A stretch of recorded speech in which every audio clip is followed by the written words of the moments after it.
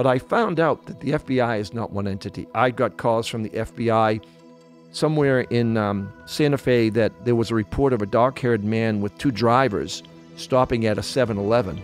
I said, Yeah, that was me.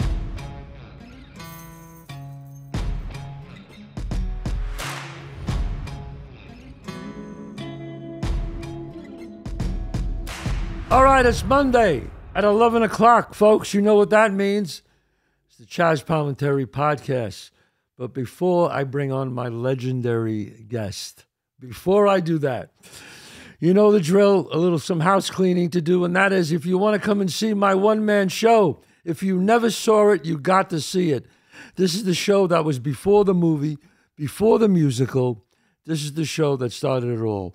Go to chazpalminteri.net and I will be at a city near you. John, where am I? So April 13th, you're going to be in Clarksburg, Virginia at the Robinson Grand Performing Arts Center. April 20th, you're going to be in Atlantic City at Ocean Resorts Casino. Atlantic City and Ocean Resorts. Be there. May 18th, you're going to be in Lancaster, Pennsylvania at the American Music Theater. And May 31st, you're going to be in Ridgefield, Connecticut at the Ridgefield Playhouse. Ridgefield Playhouse, May 31st. So you got to come down and see it. And don't forget, folks, don't forget my merchandise on chazpalminteri.net. Come visit my restaurants. Chazz Palminteri's at 30 West 46th Street and Chazz Palminteri's at 264 Main Street. The big rage is the pepperoni, the honey pepperoni pizza. All right, now we're going to get to my guest here. I'm, uh, you know, I'm a little, you know, I'll have a lot of big guests on here, but this guy, when I see him, he's a, to me, he's an icon. He really is. People throw that word around, icon. icon. He is an icon. Okay, uh, this Friday, we just gave him. I he, he chose me to give him the Medal of Honor. Now, the Medal of Honor in menswear design, folks. Nobody gets the Medal of Honor for menswear design. This is the first time that was ever given. The first time. And they chose this man. He started out many years ago.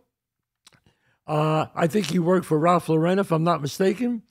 But he's up there with Valentino, Armani, Versace, Ralph Lauren. So many great designers. He's my favorite men's designer. Uh, in fact, I'm wearing his uh, black turtleneck right now. He told me once, he said, Hey, whenever you got nothing to wear, just put on a black turtleneck and a nice pair of jeans. You'll look great. So I never forgot that. So remember that, folks. When you want to look great, get a Joseph Abboud black turtleneck, nice pair of slacks, and you look great. So I, I gave it away, but here he is, the one, the only Joseph Abboud. Chazz, what an honor to do this. I'm so excited that, Listen. that you thought of me. Thought of you Friday night.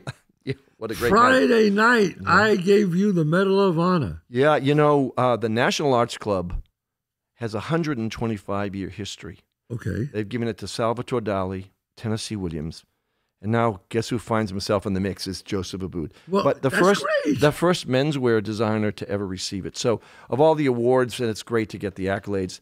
This one's really special because it's artistic. Right, right. I mean, when they told you you were getting the Medal of Honor, how did you feel about that, Joseph? You know, it was sort of a very personal feeling like, okay, I've got my work and my designs and my clothes and the menswear industry and women's wear industry. But because it was an artistic award, it was a different thing for me. It really felt Right. like, wow, this is pretty special. It was more personal, more personal. Right. Well, when you talk about artistic, Tennessee Williams, Salvatore Dali. And how does my name fit no, into that? no, and everybody always does that when they get when they get an award. They go, "How did I get it?" No, you know, it's don't be humble. You got it because you are, uh, to m- in my opinion, Thank the you, greatest menswear designer in the Thank world. You. And that's just not me. um, Many other people said that. Yeah, thank you. But I want to go. I want to go like here. You are getting the Medal of Honor. Mm-hmm. I want to go to the beginning. okay, Okay, uh, you grew up in Boston. that's right. I know that. I mean, I, we, we We've fight- had our moments. we got our moments. We fight over that. yeah. But wait, did you always want to be a designer? You know, the irony, Chazz, was that I have a teaching degree in English and French comparative literature. So I was lucky enough in my junior year of college to get a scholarship to go study in Paris. So whenever uh, whenever people say, "Oh, you studied in Paris," you know, it's about draping and fabric design. It wasn't. It was all about literature. But what did happen was this is I'll give you the dates 1970, 71. I saw a world that was so different than the Boston I knew. And the one of the great stories was I was on the metro subway. And I used to take the T in Boston. You know, it's working class, Right. you know. The the metro, the train stops, and the door opens up, and a man in a tuxedo and a woman in a gown. It was at the Opera metro station, and they walk into the subway. And I said to myself, I don't know what world this is, but this is a world I want to live in. And it was such a stark contrast to what I had grown up in in Boston. And so I think living in Paris for that year, and I saw men dressing beautifully, and the sa- cafe society, people on the streets, and women with scarves, and there was such a style. Now, this is a long time ago. Yes. I said, This is the world I want. This is the world I want to live in. You wanted to be in that world. Yeah, yeah. Wow. But I didn't think of myself as being a designer. Uh, this is amazing to me how this happens. Okay, go ahead. No. So, uh, you know, I come back, I, I graduate from college. I got offered a teaching job at Brookline High School, which was a very good school system up in Boston. Right. But then I was offered a management position in a, a great men's store called Louis of Boston. It was a great store. You would have loved it. It's no longer existing. But I was able to get a management job and I was able to start to travel to Europe because I actually spoke French because I had lived in France. So my boss loved the fact that I could translate, do a lot of things. So at the ripe age of 22, I was traveling to Europe on buying trips. 22 years old. Yeah, yeah, yeah, and and so I stayed at that job um, for about eight years. I, I did it four four years part time and eight years, and then in 1980, um, I knew that I had to be out. I, I knew I couldn't stay in Boston, Right. And I was fortunate enough to be offered a job at uh, Ralph Lauren, Polo Ralph Lauren, and um, that was such a great you know five year experience working for Ralph directly. He's a, he's an incredible talent Yes. and is really the father of American menswear, in my opinion. yeah. Yeah, I, agree with you that he's, you know, obviously he's a neighbor. He's, a, he's a neighbor, but but clearly, you know, his first collection was 1967. Was it that early? 67? 67 was his very first collection. As a matter of fact, you'll appreciate this. I just noticed that he's got Aaron Judge, one of your favorites, Yes. um, representing Polo 67, his new fragrance. So I, I, it's not that I want to promote it, but, but, but, uh, you know, Sure, uh, Ralph's no. a big Yankee fan, and and uh, Yes. and you know, so Me and Ralph cool. are together with yeah, that. yeah. And you're the big I'm the black sheep. you're, No, well, you're Boston. That's Yeah, all right. Yeah. So go on. Go ahead. So, So- you work for Ralph. So I worked for Ralph, and I had a wonderful, really five years with him, and worked directly with him, and the business was doubling every year. But I realized after I had suggested some design ideas that they really weren't right for Ralph Lauren. Right. because they were a little bit more forward, a little bit more advanced. And Ralph is is the king of tradition, you know, tweed jackets Right. and and so I realized that I might have something different to say to the industry. And I I my goal was to make men feel like men, not like boys. I wanted them to dress in the character of Hollywood. I had all of the European experience. I wanted American men to be on an equal par with men around the world. Right. And that's when I launched what I called an American International Collection in 1987 was my first collection, 20 years after Ralph had launched his collection. And I remember the night before opening the collection, I said, Am I am I a jerk? I had the greatest job with the greatest designer in the world. And now I'm gonna and who's gonna want another collection? Who really needs me? You know, it's that stage fright. I don't know as actors if Oh, yeah. Actors you get that all the time. you know. And we opened to raves and we sold every major store Barney's, Saks, Neiman Marcus. We actually got our first season a shop at Bergdorf Goodman in New York when Bergdorf Goodman was only a woman's store. So we had a men's shop on the first floor of Bergdorf Goodman for my very first collection. And that was the beginning of the Joseph Abboud world. And how old were you? At that time, I was 37. What a that was huge, man. It was, yeah, it was huge because I didn't realize that it hit a nerve in menswear. Right. That men were craving something more sophisticated, something a little more interesting. So I always thought my collection was drop dead in the middle of the Atlantic. I could make American men reach more. And I also appealed to the European market where they liked the style of America. So I always thought my collection was born right in the middle of the Atlantic. So that's why both coasts loved it. Both coasts. And and we did a lot. We had a lot of shops throughout Europe, and we had European partners, and sold our ties throughout uh, uh, Europe and Asia. So we made a we, we we made a really important impression very quickly. Wow. And so once you now, but now here's the thing now. Okay, big success, your first collection. Right. But they always say, now you got the pressure on you. Right. Now you're not this like young up No, and that's right. Right. Oh my God, what do I do now? So Right. what, what did you decide well, to do? the, it's sort of that old sophomore thing. Well, you know, you're, you know, you you you've you've made your launch. You're doing a great job. So for the first two or three years, we, we, I, we we won a lot of accolades. The menswear designer of the year from the fashion industry two years in a row, which again, it's such an honor to have that. And so constantly, I I was doing new things. For example, I ended up designing cars for G- General Motors. We did a Joseph Abboud uh, Regal for General Motors. Sold five thousand cars. It was it was so great. And then I'd gotten into the home. I loved working in the home world and had women's wear for about ten year, but ten years. But my true love is menswear. It's menswear. Yeah. Because I'm still stuck in the Hollywood thing. I'm still stuck with Cary Grant and Gary Cooper. I love these guys. Tyrone Power. Tyrone Power, You know, David Niven. uh, you know, I and, Yeah. and the clothes that they wore. My my favorite scene in one of the movies is, is Rebecca.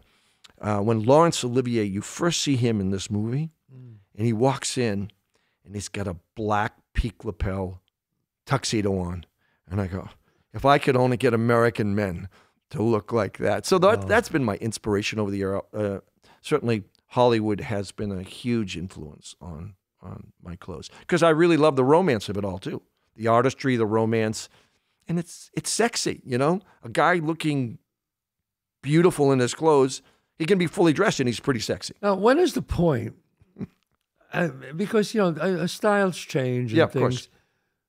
But the the thing that I can't get over is, you know, fads change, but mm-hmm. your style is always in.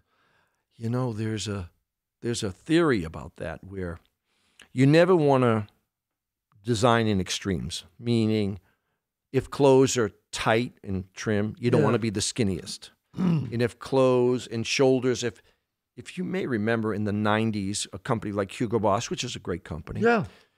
Their shoulders used to get bigger and bigger. And I would make a joke saying if the shoulders got any bigger on their clothes, you'd have to turn sideways to come through the doorway. you know, so Right. I've never, I've always loved to live in an intelligent style for men, not too extreme.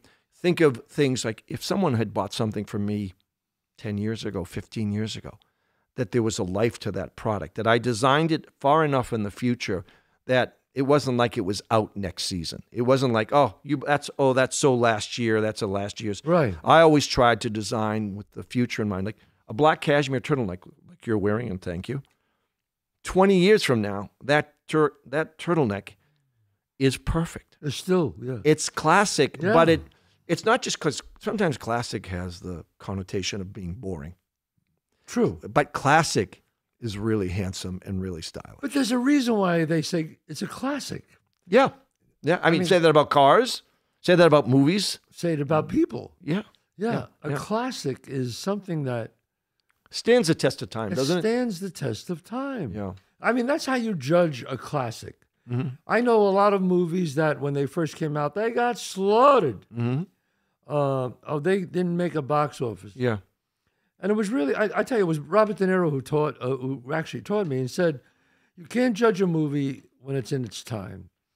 Is it going, 25 years from now, look at the movie Right. and see how it aged. And that'll tell you if it's a classic or not. Uh, the Godfather. Yeah. You know. I could watch that. It's on every night, and I could Yeah, watch it. I can watch every. Why is that? It's a classic. a Bronx Tale. Well, I, I, I- I not, not. I have to tell you something about this yeah. because not only is it an incredible story and an incredible film, is the style of that film. Yeah. There's, I don't know if people look at that beyond what an incredible film, but I don't know if they analyze it. You know, I look at it and say, it's so artistic in the way this was done. It's gritty and it's tough, but it's beautiful. Yeah, I mean that's that was really Bob De Niro who Well, it was you know, brilliant. he took my script and he just you know elevated it Yeah. and made it shine. You Yeah. know, that's I've I've been saying that for thirty years. yeah, but that's the Yeah. kind. That's a classic. That film, it's it's going in the archives because you can and you can watch it and it never feels dated. It it's so of the moment, even though it was shot a number of years ago. Yeah. Anyway, uh, yeah, you're right. But when you design something, hmm did you ever design something and you regretted it? So that was my safety valve. I always would say, whatever, let me look at my designs. Now, forget about whether I'm getting accolades or getting a good article. Right. I would look at it as, what is that going to be like five years from now, four years from now? Am I going to want to see somebody wearing that? And, and let me tell you, the best award you can ever win. I, I could be on Madison Avenue or Fifth Avenue or anywhere. And I see somebody walking down the street and they, let's say they're wearing one of my jackets or one of my sweaters. Yeah. It's the greatest award you can ever win. It is the best thing. Yeah. So I've I've always yeah. Am, am I perfect by no means? Uh, but I've always tried to respect my customers, respect my audience. Forget about what the press wants. What do I think I'm doing right? Because I I don't want to design for the press. You design for yourself. I design for myself, but I also want to. I think there's a lot of me's out there who want Yeah, style. that's it's very similar to the film business. Now, in the film business, they make a film, Mhm. and the studios they want you to do this. You have to have um, they do these focus groups that people yeah. have to look at it and make notes. When you design, I'm, I'm Yeah. curious. to say, When you design, yeah. do you ever have to like go to these focus groups and say, well, you know, how do you people like it? Do you ever have to do that? When you do that, it's over. It's over. because it's like that's how we got a camel. I mean, it's basically uh, uh, uh, all parts that don't seem to work together. I've never believed in focus groups because they have a life of their own. Right. Meaning, one guy might have the nerve to stand up and say, No, I think the colors are too bright. Then you have 12 other people who go, Yeah, I think he's right. The, the colors. True. I, I think it's important to know if you can know your work and judge your work and know your place in the universe. For example, I think I know what's well done in terms of design. Once people start to tinker with it, I don't know what you end up with. Then you lose your own Yes. your own compass. I Like, agree. You know, uh, uh, there was a story where um, one of my executives, and you know, you you have the sort of left brain, right brain world of in, in the fashion business too. Well, let's let's see what people want to buy from us. So he basically, I don't do a lot of red ties. So someone in the audience says, uh, or in the focus group, let's. I think you could do more red ties. So the CEO comes back very humbly and says to me, you know, we should have more red ties in our collection. I said, you know, Bob, I don't do red ties. So there aren't going to be any more red ties. If they don't want to buy my ties the way they are, then what are they buying? Uh, it's a little bit like the story I mentioned to you about Ralph Lauren when he first sold his first necktie collection. And uh, the buyer said, We'll buy your collection if you make your ties narrower. And Ralph was the king of the wide tie. And Ralph had the courage and the nerve and probably not a lot of money. And he said, You don't buy my ties the way they are, then I'm not going to sell you. And he probably needed to sell them. So, you know, knowing your place in the universe and knowing what you're good at is Yeah. really important. And I know what I'm not good at, but I there are certain things that I know that I trust my instincts. Right. Now, do other people ever give you ideas and you go, I think that's a great idea and use that idea? The danger of that idea is if this all of a sudden you're plagiarizing somebody else's collection. So my inspiration is never really somebody else's collection. If I go to Tokyo and I start to see the colors of their garden, that's my next collection. It isn't clothes or fabric. I see. I just came back from Scotland. I can't get enough tweed. I can't get enough. right, right, I can't get enough tartan. You know, you have to be good enough to let it come to you. Right. I would assume it's any creative world is that way. Whether you're an actor or an Yeah. artist, is you got to let it come to you. Yeah, it's a little different in filmmaking. You know, other people, an actor, Yeah, I uh, know, I the first director could come up with a great idea. You go, hey, that's great. You know, it's always like the head. I always felt the CEO of any company, his uh, brilliance comes in hearing everybody and Yes. taking a good idea Yes, yes. and using that a good idea. But let, let me give you the flip side of that. I always, I, I think I prided myself on having great design teams, young designers. After I started doing it all and we Right. started getting bigger and you mm-hmm. hired design assistants. But I never picked people based on pure creativity alone. I really based it on their their intellectual thought process of how they got there. So even if a designer came in and showed me their portfolio to so I would hire them, Right. if it wasn't in my style, a lot of designers would say, "Well, that's not my style. I'm not going to hire him." But I always wanted to know how'd you get there? Like, what's your thought process about that? Because I, I thought if they would work with me and get to know me, and they were smart and they had this intellect, that they would bring things. And I was always open to ideas Yes. from my younger designers. wow. I loved, I loved, I loved having that interaction because they aren't cursed with too much knowledge. Sometimes with the experience, Oh, I agree. sometimes it's a it's you have to hmm. trust your instincts again and say now why did you think we should do triple breasted suits? I mean you know why do you Yeah. think we should i always want to know what they think and then i might say well it doesn't seem to work but tell me maybe we could make it work a different way. Yeah. so i love the interaction with my creative teams. Sometimes it's there's nothing like hunger. To meet a young designer or a young filmmaker or a young right when they just want to they come in with all kinds of ideas yeah. and and it's just harnessing that energy. And it's harnessing that energy right right. right Well, sometimes you hire the old pro if you want somebody for props and you Of hire course. a guy who's been of course. 50 movies and that's he great, just too. walks in and goes you know my work speaks for itself. yeah. there's something to be said for that. Sometimes i just like a young guy who's young just, filmmakers. I mean they're You know, are they the next you know uh, martin scorsese? You don't know. You they don't could- know and so it's wonderful to give them the chance to you know show their stuff but they are they're blessed with creativity but they don't have the life experience sometimes and so i think that's where we can mentor a little bit more and say okay yeah maybe just show them where the potholes are a little bit and show them Yeah. where the where the liabilities are You know, you and I have been friends for a long time. We're neighbors, Yeah. of course, and um, we always talk about life and about things. And and I want you to just tell that story, if you mind, about when you went to Boston, uh, and you were coming back. And would you just tell that story with, with the plane you were going to be on? Oh, in terms of uh, uh, 9/11 and and- Right. yeah.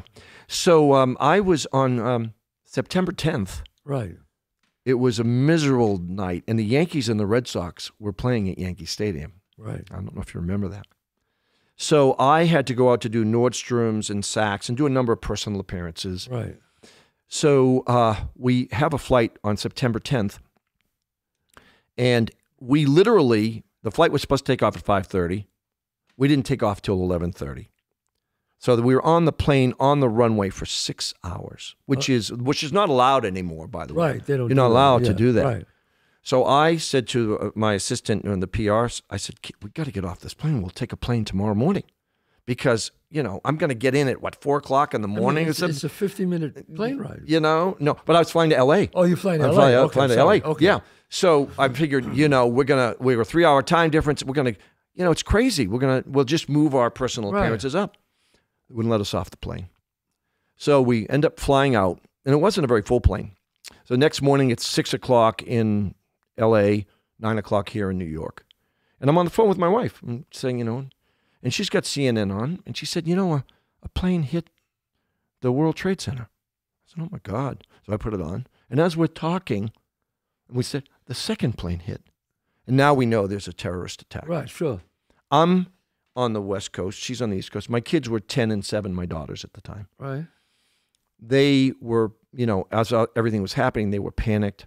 No one could reach each other with cell phones. Yeah, I know. I was on the And West they- Coast too. Yeah. They knew I was flying out, and they were. They thought that their mother wasn't going to tell them that I was on one of the oh. planes. So here I'm on. I, I said I'm probably a lot like you. I don't give it. I don't. I don't give a rat's ass. Sorry, I'm getting home. And so there was no plane, Right. there were no trains. So there's a good chance you would have been on that morning flight. Well, I'll tell you the rest of the story. So I end up, I get a limousine, and I called a limousine company. I said, How much would it cost to take a limo from LA to Bedford, New York, nonstop? Nonstop. The guy said, I never did that before. I'll call you back. Calls me back. He said, $11,500. If he told me $111,000 and It, it I- wouldn't I- have mattered. I was going. Yeah. I said, okay. He said, we'll give you two drivers and they'll drive nonstop. So from LA to Bedford, 53 and a half hours straight. I slept. We stopped at McDonald's. We did, they drove. They said, "What- we'll get home because I wanted to be with my family. But what happened was because I had a round trip ticket and I never took the flight back, the FBI got in touch with me. oh. So the FBI now my name is Middle Eastern, but I you know I can't be any more American. I grew up in Boston. I'm a Red Sox fan. right. I mean I can't be any more American. But and they were really really great. These guys. They said, um, could we uh, could we come to your house and talk to you? And my kids were little, and I was worried. And I said, well, could you come to my office? So they came to my office in Manhattan, and they said, well, not only do we know that you know you didn't come back, and we know who you are, said, but we want to show you some pictures of hijackers that could have been on your plane. He said, we found box cutters and we found remote controls on the plane that you were on. And I thought to myself, if the weather had been good and that plane took off at 5:30, that that plane could have hit the World Wow. Trade Center. And the FBI, I, I have to give them kudos because they were working, as you probably remember, 24 hours Yeah. a day trying to track down leads. So I had three or four encounters with the FBI, all all very positive. But I found out that the FBI is not one entity. I got calls from the FBI somewhere in um, Santa Fe that there was a report of a dark haired man with two drivers stopping at a 7 Eleven.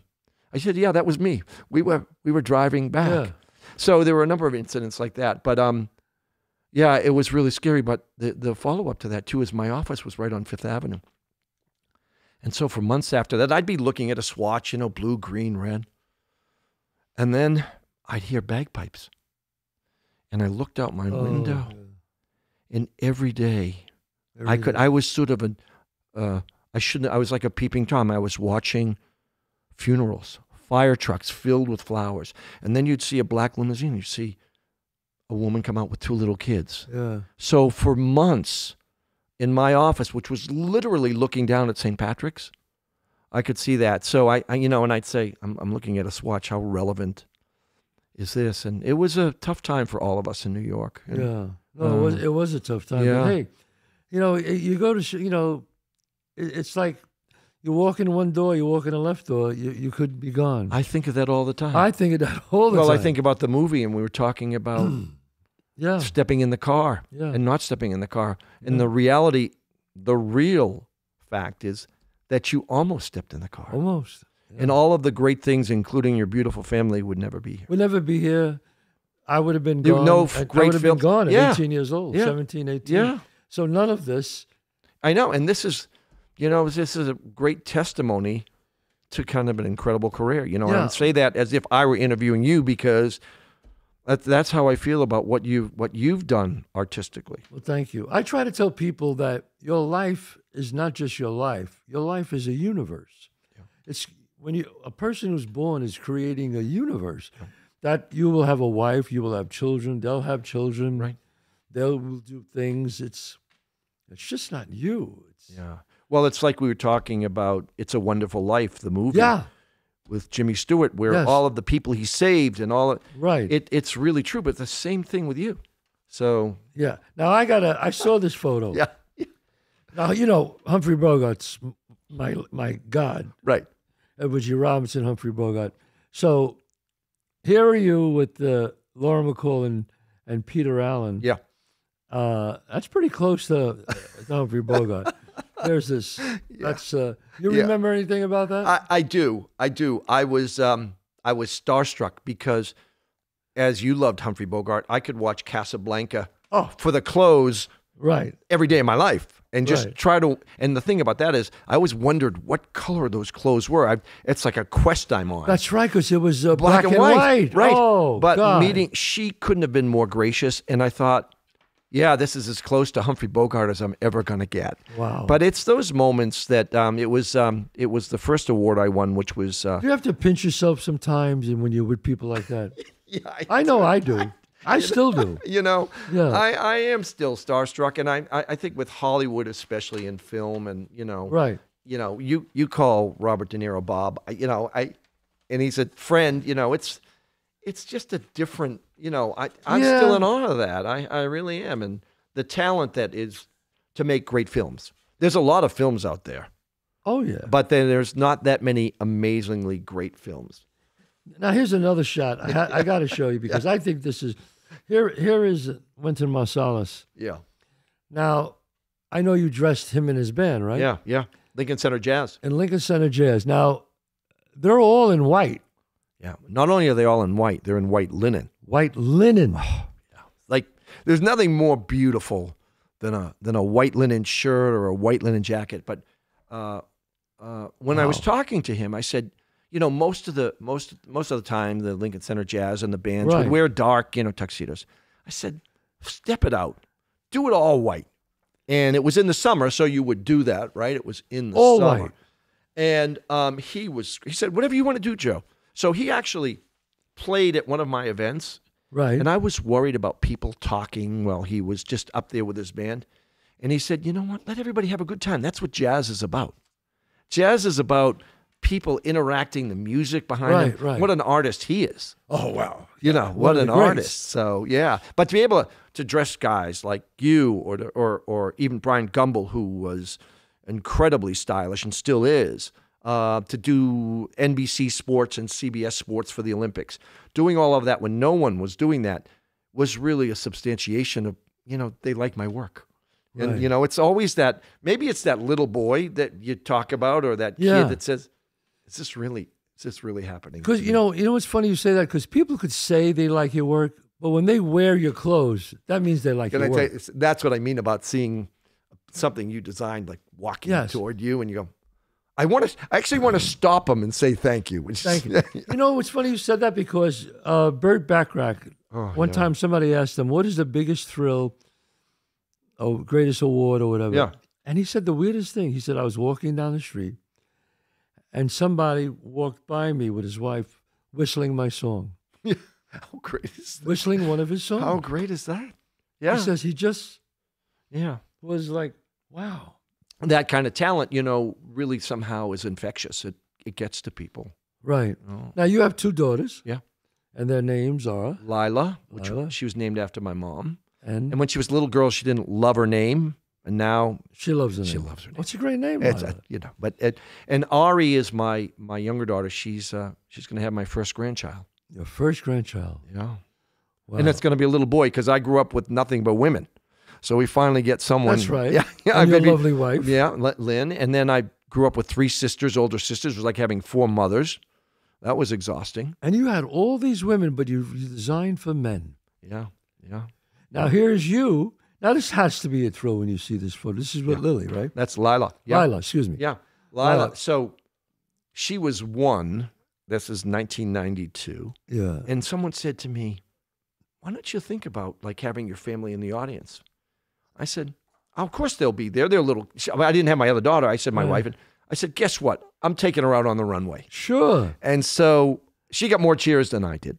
Um, but it's it's a memory, you know, it's and and she sees that picture Right. and she's now a young woman, you know, and having her own home and it sort of reminds us of who we are and how Right. important family How is. do they feel about my father's Joseph Abboud? You're really just dad. Yeah, I'm dad. You're the dad. perfect story on that one is so one day Lila must have been 12 Right. and I had a board meeting, like a big financial board meeting. I come down in this chalk striped flannel suit, white shirt, silver tie, pocket square, and I'm looking and going, and so kiddingly I say, Lila, how do I look? She goes, Daddy, you look handsome. But she said, Are you going to wear that tie? And I said to her, Lila, do you know who I am? I'm Joseph Abboud. I'm, I go and I look in the mirror I said, I think she's right. I changed my tie. That's the power of women and my daughter. I, so, you know, I am just dad. You're just dad. I'm just dad. The other story with Ari, the little one, yeah. we are at the cleaners in Bedford. Yeah. And she used to like to go. I, I promised her I'd buy her a Barbie or something. I said, I have to first stop at the cleaners. So I take my clothes into the cleaners and I'm waiting. And she said, Daddy, can we go? Can we go? And I said, Honey, I have to wait and get my ticket. And she said, What do you need a name on your ticket? Your name's in your clothes. So she thought that everybody that, like, when Chazz Palminteri Yeah. takes his jacket, well, although if this is the case now, Yeah. takes his jacket, there's a Chazz Palminteri label in it. Or if John Smith goes into Yes. the, and that's why you're always just dad. Like she didn't, yeah. Uh, My son once I heard him. I was leaving, and the limo came to pick me up. I was going away to do a movie, and I heard my son talking to one, and he was about eight, maybe eight or nine, and he was talking to some of his friends, and they said, "Hey, Dante, where's your dad going?" Because they saw the car outside, and I come down. He goes, "Ah, my dad, he's got to go be Chazz Palminteri," and I thought that was so weird. like, but but but that's because what he was saying is your dad. Doesn't matter all that I other don't know stuff. who Chazz Palminteri is, but that's my dad. so it was like really strange Yeah. to me when he said that. You know, Yeah. I go, but don't you think that's about? grounding though? Is that kind of yeah, well, he's very grounded. well, he's a he's a handsome kid. Know, my- he's so a great kid. and- and daughter. They're both very They're grounded. beautiful kids. Well, that's my, my wife, Gianna, is like, you know, the greatest mother in the world. I mean, she should open a hotel because she is Yeah. literally the greatest hostess I've she's ever met. the greatest hostess. Yeah, Yeah, and the greatest wife and yeah, she's a great amazing. mother. Now, beautiful. this, this one here, This I fun. find this funny. We finally get to see how Italians would dress if they were English. right. Now, that's what made the- you say that when you did this one? So, so you know, you work with advertising agencies. So, all of our career, we've always known that the Italians were really sort of jealous and they were seduced by British style. So, all of the great Italian mills right. uh, covet British stuff. Now, British fabrics, English fabrics are scratchy and hard, and I love them. Yes. Italian fabrics, cashmere, they're smoother, but the Italians loved English style. So, when you merged like Italian creativity and British style, Right. that's what you got. Beautiful stuff. Beautiful stuff. I and mean- the Italians are just, they're just so brilliant in I mean, terms of creativity. Let, let me just say, like like what you're wearing right now. I have to comment on that because would you call is that monochromatic? yeah, I would say yeah. I would. I, I kind of like dressing in tones because I think it's one message. Yeah, it's like the, the and I never wore A What do you bandana. call that? A bandana. You could call it a bandana. a bandana. Yeah, yeah. And you made me, and I said I never wore that, Joseph. And you said, well. And we tried on, and I tried it on, and you, well, I tried, it, and you put it on me, and I put it under my shirt, and I You went, felt pretty good. I said, damn, I said that, that looks really good. Yeah. Well, you know, I have my image of you, right? Right. So my image of you is sort of an artist, an actor, and an author. And I think sometimes it's okay to step out fashion wise and dress who you are. I don't see you in a three piece suit and a red tie and a what. Yeah, That's not you. And your clothes deliver your message. People, Right. when they see you, you're sending them a message. Every time you Right. go out, whatever, the president of the United States, whether you like them or not, whatever they put on, they're sending a message. right. Uh, the, the prime minister, the king of England, they're sending a message. With you know, and everybody makes a conscious decision. You know, before I destroy the world, what Right. suit am I wearing? You know that Right. people make every day. They make a fashion decision as to what they wear and how that represents themselves to other people. Like the this, the, the, is that a vest? You yeah, wearing? it's a it's um it's an old shooting vest. now how an old shooting vest. Now, I, now I never dressed like that, but how would I look in that? See, here's the thing. I don't you're tall. know. You're if I, you know, let's say, and this is not even a makeover. Let's say we're doing a movie together, right? Right. And I've got Chazz. Right. So I'm gonna look at the I'm gonna look at the script. I'm gonna look at I'm gonna say, what do you feel? What I love about it is you can wear anything because you you're tall, you you can wear anything. When we talked about the Woody Allen film with all your brown suits, Right. I that's my favorite story Yeah. because I don't see you in Brown, yeah. and that and then muddier colors, but I love the story you told. Well, the story, and to make it quick for Yeah, the people sure. who don't know the story, I, I don't wear brown, and the uh, designer walks in, Jeffrey Kurland, and says, "All your clothes." Are, He goes like this, and he shows me the whole thing. I said, "I can't wear brown." And he goes, "Well, you better talk to Woody." And I spoke to Woody, and Woody said, "Yeah, I know you don't look good." Yeah. And I said, "But why are you doing that?" He goes, "Because I want you to look like an extra, and as the film goes on, you take over That's the right. film." That's And I right. went, "Okay, But isn't that? but doesn't that show you how clothes really send a message? yeah."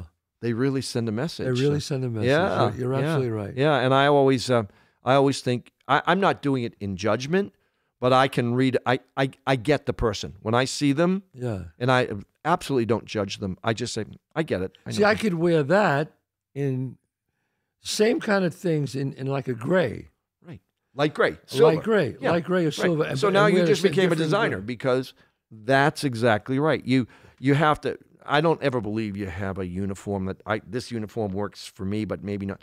Yeah, you just you know you morph it, you you create it, you change it. That's the the creative part of um, menswear. But guys are a little bit timid when it comes to change. You know, guys Guys are yeah, guys are different. they get stuck in a time warp. If they wore Yeah. a you know a suit through the 90s, you know, it's not the same thing today. Clothes are different. The clothes that we're working with with you, yes, notice they're leaner. leaner. They they feel more important. Right. They're not as drapey or droopy. no. So they they have more character. So, so now that I look at you, I say, okay, so I could wear a gray tweed, Right. You could wear a silver turtleneck. That and a silver turtleneck with a gray tweed, and, Yeah. and the, the, ru- the suit. and- right. You Wow. could, and you could wear it with a darker oh. vest. Yeah. Could the- you have different shades of black? No. You can you can go you can go from dark gray, mid gray, black. It's cool. When it, when everything is all black, it's hard to see dimension. That's what I'm saying. Yeah. Yeah. Okay. But let's say you're wearing a tuxedo, like the one you wore Friday night. yes. The character of the tuxedo is the fit. It's also the pocket square. It's the scarf. It's the way you tie your bow tie. It's the Frank Sinatra. That's the Frank Sinatra moment. Wow. So that's those are the kinds of things I love. Wow. Yeah, it, it's just, you know, the more I talk to you about fashion, the more I learn. I go, well, I could duplicate that if I just Of- change the color. That's but you know, thank you for saying that because that's what I was trying to say to American men throughout my entire career. yeah. You can take intelligent chances. You can take you can step out and do something that still is in your comfort zone, but just pushes it a little bit. That's all. That's I think if I've had any success, it's because I've been able to kind of connect with men to say, yeah, you can look better, you can feel better, you can you can do it. And it's not some, you know, crazy idea of men in skirts. It's just like Right. like what's the right fit, what's the right style, a great accessory, a pocket square, maybe a great watch, maybe a, a bracelet, just something that defines your personality. Right. The wrong watch could destroy an outfit. Isn't that something? I read once where they So said interesting nothing against Apple, but if you're wearing something a great suit and you have an Apple watch on, it Can't believe you doesn't go. that. I can't believe you said that. It it's like wearing a television set. I mean, basically, I, I couldn't agree with you more. I still love, you know, Rolex is a wonderful brand. Yes, me too. I love I love vintage watches. Yeah. I think the problem we have now is everybody uses their phone for time. Yeah. But watches are still a beautiful accessory for men. We don't have that many options as guys. What you know, a What- yeah. beautiful watch is great. You know, Yeah. the right, you know, like the right turtleneck under a jacket with maybe, yeah. you know, uh, a scarf, or something that. I love because I saw Cary Grant. I told you with the silk scarf around Oh, God, yeah, when he had a tuxedo. and I Yeah. always wear scarves. so yeah, yeah. I just constantly think of that. And Well, think of the if you look at, uh, at if we talked about Casablanca, if you look at Humphrey Bogart in that white double-breasted dinner jacket, yeah, there's nothing more masculine or handsome than that. Most guys don't get that. They well, it's not for me. You can't be any more American style classic than Right. that. And I and I do recommend, and I know you've done a lot with TCM Turner Classic Movies.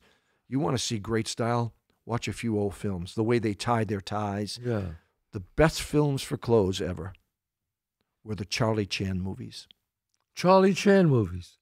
I have to do, look at that. They're in the 30s. You have never seen double-breasted suits and and light-colored trousers and beautiful tailoring. I I I, I um I've always been amazed by how gorgeous those clothes were. Yeah, and most people wouldn't even you know. I'm gonna I'm gonna look at that Charlie Yeah. Chan because I remember Charlie Chan. Yeah, they were. I was it Warner Oland or I don't remember the exact actor, but Yeah. they were films all through the 30s and Yeah. And the way they dressed. Gorgeous clothes. I have to talk about because I have to because I was so stunned Mm-hmm. when you took me up to your factory. Yeah. Now these everybody does all their work overseas now, Most which most is people. sad. Yeah. Yeah. You have a factory up in Boston, Yeah. In, in New Bedford, New just Bedford, outside of Boston. and it's been. And how long have you had your factory? the Joseph Abboud Factory's been there since around 1986. 1986, Yeah. and you employ how many people? At its height, it was about 800 plus people. I mean, It's probably about somewhere be, and it fluctuates based on the work. Could get four to 500 to 600 people, but right?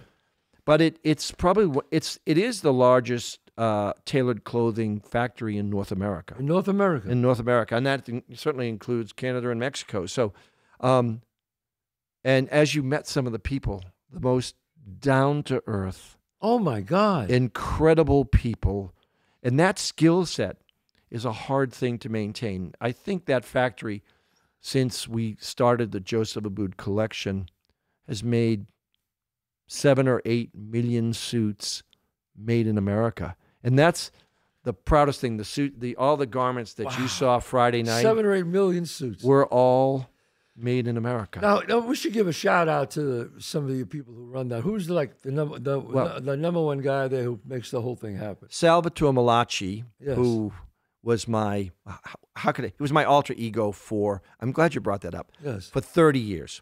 I know my favorite place in the world to design was at that factory. I could be in Paris, I could be in Milan, but when I was on that car driving up to New Bedford, I knew it was going to be a really creative thing. So the last fashion show that you were at, uh, 2019, Right. we made over 200 garments, all made by hand. And I was thinking as I was driving up, and I had all my notes, they're going to kill me. They're, what I want them to do, I said, I, I was, and I, I'm not, I'm not being, I, I said, they, they'll never do it. They can't do what I want them to do. Right. I literally had sketches. I sketched them in my kitchen here in Bedford.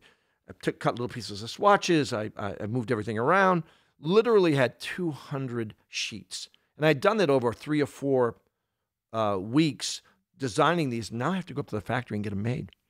And I'm saying, this is the one time I've pushed them over the top. Right. They never said no. Salvatore, and it was, think of it, it's a lot of engineering. Okay, I, I have to make a lapel, but you want to make a lapel that's frayed at the edges. Uh, you want to make an American flag, but you don't want the flag to be straight. You want the flag, an American flag jacket with the flags, uh, the stripes going diagonally. And I wanted this, this the moment that uh, of the show, the 2019 show, was paying homage to Ellis Island and the people who came to America Right. to make America great and to Wow. be a part of growing and bringing their families up like my grandparents came through Ellis Island. Absolutely. Yeah. So I wanted the garments to be noble, but I wanted them to be worn. So I said, Sal, is there any way we could wash? Do we have like washing machines somewhere in the factory? He said, No, but I'll wash them. He took the 200 garments home over the weeks that were made and he washed them in his washing machine at home, he and his wife. That's why he never said no. And I love this man. He was such a part of my history and and and, and all of the people who've been there 25 and 30 years. Eva, Yes. if you remember, she said, oh, I love the way that shoulder looks on you. Yes, Eva, she's been Eva, there. right. Right. And to have you there, and, and I, I, I do want to say they they don't get the credit they deserve. They don't get celebrities like you walking through the factory. And I'm sorry if some of them wanted photos, No, but that doesn't you, you know me. they or in the restaurant we go to a seafood restaurant. people That- think that, but that's it's it's as long as they're it- respectful. It was wonderful. no, yeah, and, I, and and who was the young girl who took care of us? Jean, Oh, uh, oh, Jenny. Jenny. Oh, so that's Jenny. sweet, and really she's nice. got a very, very, very powerful position in the company, and I've known her since she was just a an assistant. Yeah. Now she's running the custom area, and they're all salt of the earth, and that's what America. But that's you, Joseph. They've been with you 30 years, Yeah, over yeah, 30 yeah, years, because, you know, there's an Italian saying, you know, the fish stinks from the head down. yeah, I know. You know, and you are, seriously, you're, you're a beautiful man. I, I mean that sincerely. Your, your talent, the way you design, and I got to tell you, folks, seriously, am I a little biased? Probably, but you check out his collections. You know, If if you want to look, so if you want every woman and every man to look at you, Joseph Abboud's clothes. Joseph, it's been a real pleasure having you. Chazz, Um, this is like this is a, Wait a of minute. Wait a minute. Before I leave, I have to say, you rabid Boston Red Sox fan, how you think you're going to do this year? Ah, well, I think I showed you this picture of me Oh. throwing out the Oh, first that's pitch right. at Fenway, right? Joseph Abboud throwing out the first pitcher at Fenway Park. So, do I have time to tell you that story? Yes, yes. So Go ahead. So I've been as as you know, you grow up, you never lose your allegiance. If you lived in, I don't know, outer Mongolia, Right. you're gonna be a Yankee fan. Yeah. I live in New York, behind enemy lines, but I'll always be a Red Sox fan because my dad was a Red Sox fan. Yeah, that's Like it. your dad. It's in your blood. Right. So, um, my dad and my, when my my dad was very disabled when he, he was uh, when I was a little boy. We could never go to Fenway. We we he, we, we didn't have the money, and he he couldn't go. He was disabled. Well, we used to listen to the Red Sox games on my porch outside on the evening, and he'd have my, his arm around me. Wow. And one of my biggest regrets was we never went to Fenway together, you know? But he loved the Red Sox. So around 2000, 2004, 2005, I had done a lot of work with Nomar Garciaparra, who was sort of the Boston star um, with the Jeters and the A-Rods, you know, that, that whole group of great players. And he said, You've done so much work. How would you like to throw out the first pitch at Fenway? I said, Oh my God. You know, so for two weeks before, I was in my driveway in Bedford, nailing the trash cans 60 feet, six inches, throwing, throwing, throwing the pitches. So the day comes, and I say, There's a place I can warm up. They go, No, you can't warm up. So now they give me the ball. It's time for me to throw out the first pitch. And I get out there and I look at 38,000 people. And I go, I, you know, all of a sudden, usually the backup catcher will come out and catch the Right, pitch. right. But who comes out of the dugout but Nomar Garcia? No ma. Noma. And the place goes berserk. They're not going berserk for me. Right. I understand. And yeah. Stephen King, two weeks before, you know, a big Boston Red Sox fan, he throws out the first pitch and he bounces it two thirds of the Oh, way up. forget it. Booed like crazy. I was at the game. I said, what are they going to do to a designer on the mound if I bounce? So I said, I hadn't waited this long. I'm going to pit. I'm going to throw it from the mound. Right. So I go up, and before he, um, I throw the pitch, Nomar comes up to me and he said, "Let's just play catch." And he took my nerves down a notch. Yeah. And I threw. Um, it was a little high and outside, but I got huge raves. But the raves were no Nomar. You know, they were. No, but you didn't did bounce it? No, I didn't bounce it at all. It was a good pitch, and he was great. But let me tell you the most important part of that. I asked. They said, "What do you want to say on the jumbotron?" And I said, "I'd like it to say in honor. I I have to be a little careful, but Yeah. in honor of Joseph Abboud's dad, Joseph Abboud, a lifelong oh. Red Sox fan. And that's just, I said to, I looked up and I said, you know, Dad, we finally made it to Fenway together. So, well, yeah, And what a way to make it to Fenway yeah, yeah. So, together. yeah, was, so that Well, was a memory. He's well. Look, you put it on. That's Yeah, yeah. So I turn around, I see my dad's name, you know, on the on the on the well, jumbotron. I mean, that's a beautiful way to end this uh, episode, Joseph. It's been an honor to have you on. It really has. I mean, Chazz, it's my honor. Thanks. no, I I'm so proud that I was able to give you the Medal of Honor. thank you. Uh, the first time a menswear designer. Yeah, it's pretty. It's pretty special. It means a lot on a very personal level, Uh, It and especially having you be there. And Yes, no, I, it was my honor to give it to you. And uh, folks out there, I'm telling you, I'm telling you, Joseph Abboud, his clothes are, you want to look sharp, you want every man and woman to envy you when you walk into a room. this is the guy. He is uh, not only a great artist, a good soul, but, you know, when it comes down to it, folks, you got to be a good man. And he's like, he's, he's the top of the list. He's a good man. Joseph, it's, it's been you, my Chazz. pleasure. It was such a joy. Thanks. God bless you. Thanks, Chazz.